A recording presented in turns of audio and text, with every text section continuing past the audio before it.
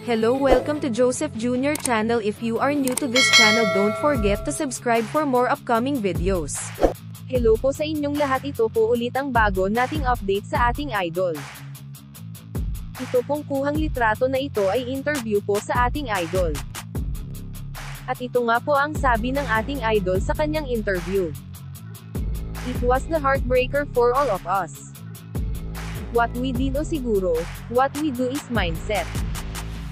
So we can be sad that we have to move forward and training and mag-iinsayo talaga.